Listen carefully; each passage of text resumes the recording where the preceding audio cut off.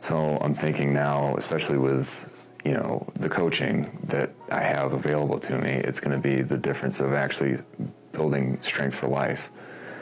Um, the main thing is if I can stay strong and active for as long as possible, that's my goal.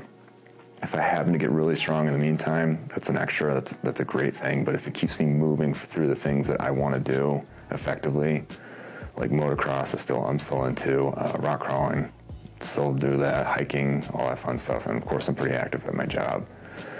If I can keep doing all that stuff safely and not get hurt, that's a win. And I think this will help me get there.